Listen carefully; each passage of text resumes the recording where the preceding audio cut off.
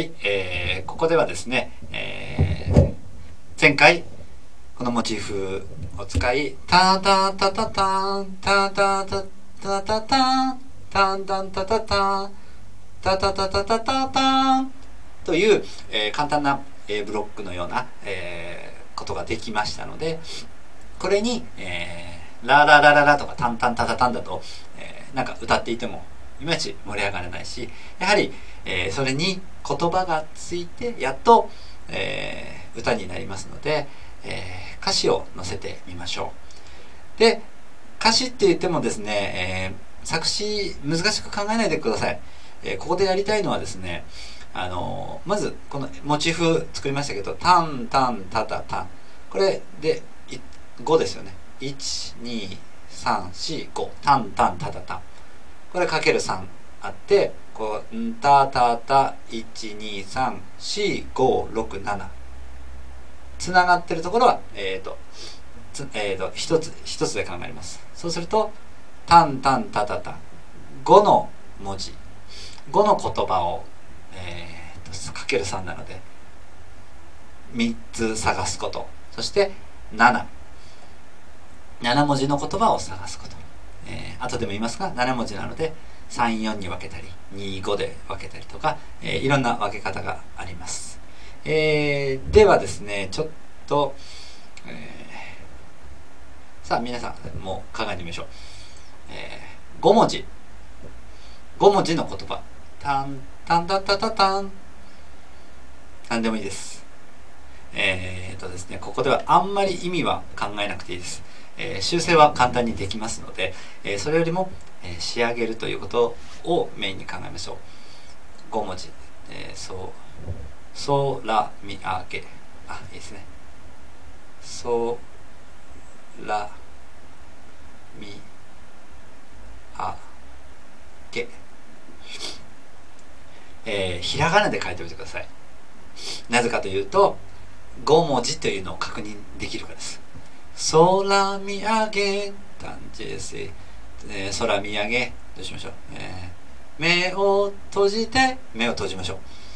目を閉じて目を閉じてそしてえー、よいしょ。たたた5文字。何でもいいです。たたたたた手をつなぎ手をつなぎ。7文字。さあここ7文字ですたたたたたたた。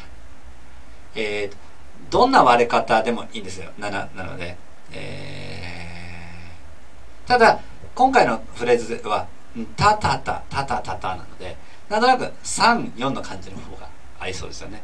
例えば、えー、う歌を歌うよと。これが、えーと、もし、えーと、25とかだったら、えー、手をつなぎ、えー、あえっ、ー、と「君抱きしめた」例えば「君抱きしめた」とやるとですね抱きしん違う。抱きしめた。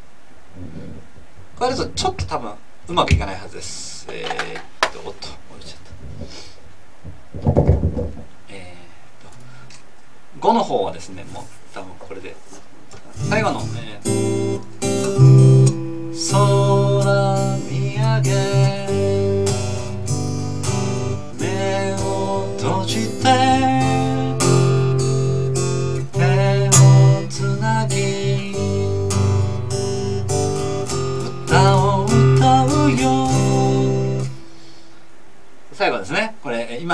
ーと、34にしますね。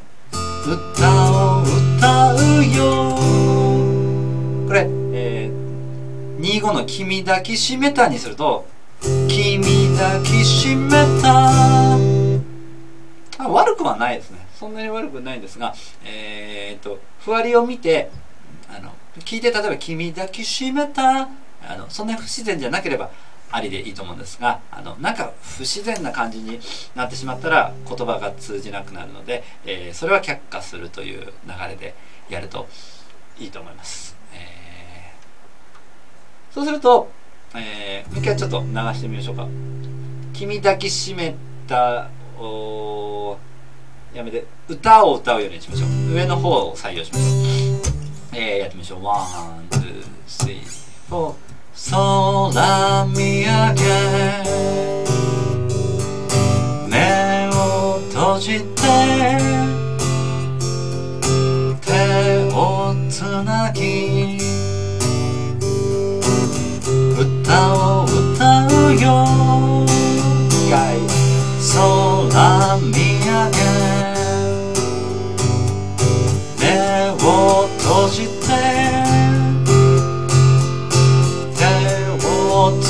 つなぎ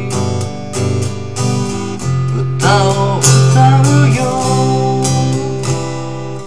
えー、どうでしょうか？すごく、あのー、こういうふうに考えると、あのー、難しくないと思いませんか、えー、前回の長えー、前回の動画の方で、えー、簡単なモチーフ一小節のモチーフを作って、えー、それを展開させて、えー、メロディーの方はメロディーとコードの方は完成と。で次の次の段階になると歌詞を載せる。で歌詞といってもあのまああの細かく意味をというよりは、えーえー文字数ですね。文字数字数を数えて今回だったら5か 5, 5ですね。タンタンタタタンこの5文字のものの言葉を探す。ソラミアゲなどのように、で、えー、当てはめていくと。で当てはめて聞いてみてどうかなというふうに判断していく。でこうやるとですねあの思った以上に本当に簡単に作詞も作曲もできると思うんですね。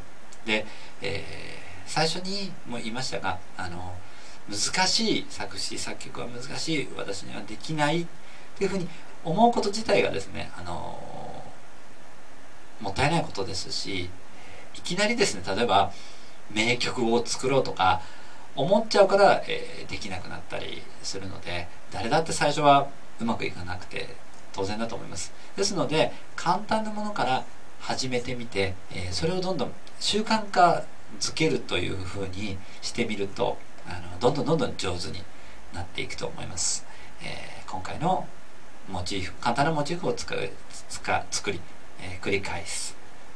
で、えー、歌詞を載せる。というようなこんな、え8小節ぐらいの、え作詞作曲でしたら簡単にできると思いますので、えー、ぜひ皆さんも挑戦してみてください。それでは失礼します。